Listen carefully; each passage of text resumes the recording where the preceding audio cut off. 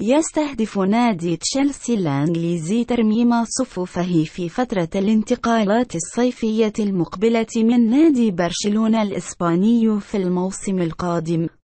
ووضع النادي اللندني عينه على نجم فريق برشلونة الإسباني عثمان ديمبلي لضمه مقابل 120 مليون يورو. وذكرت صحيفة دون بالون الإسبانية أن النادي الإنجليزي ينوي دفع المبلغ المذكور لضم النجم الفرنسي الدولي في الميركاتو الصيفي.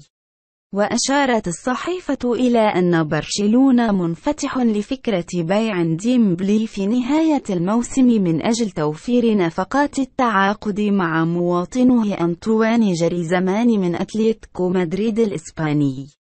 وقد ينال العرض المذكور موافقة مسؤولي الكامب نو وعلما بأن البارسا دفع 105 مليون يورو لضمه في الصيف الماضي.